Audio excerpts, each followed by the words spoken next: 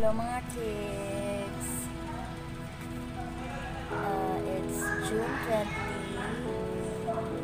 At nandito kami ngayon sa burol ng lola ko. Ang pinakamamahal kong lola is pumanaw noong June 17 around 1 p.m. sa bahay nila. And shocking kasi hindi naman sa hindi in-expect pero parang biglaan. Parang biglaan na ganun yung nangyayari sa, kasi ah, busy-busy kami.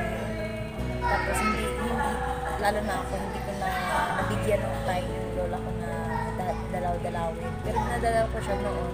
Pero parang matagal na mag- months. Months siguro na hindi ko siya napuntahan at hindi ko siya nabisita.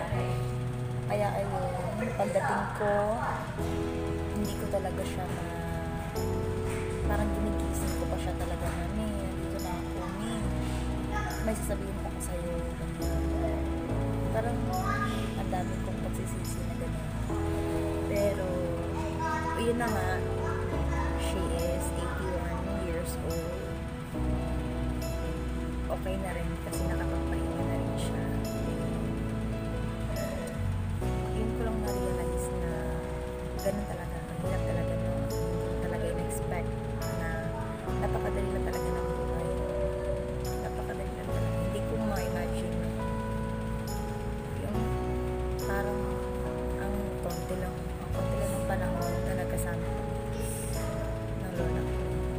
Hindi naman kasi doon, na, doon naman kasi talaga ako lumaki sa lola't lola ko. Kaya ganun yung reaction ko nung mawala yung first yung lolo ko and then yung lola ko.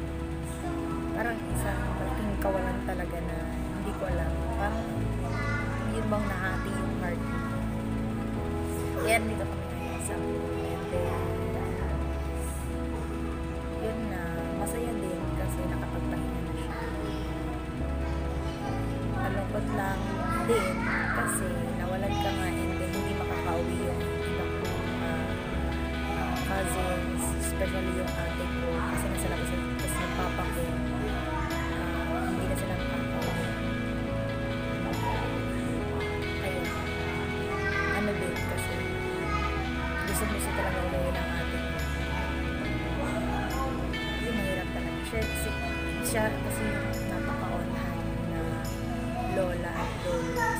sobra talagang naging parte ng buhay namin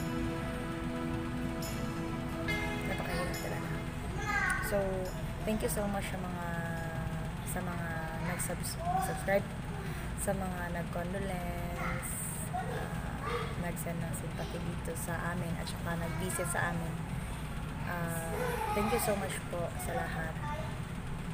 Ah, ah, life must go on. Yun nga.